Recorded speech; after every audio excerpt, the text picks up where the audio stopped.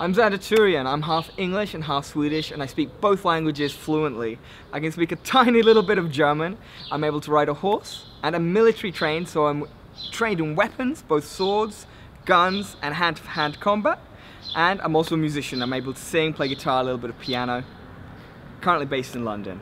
Thanks for your time.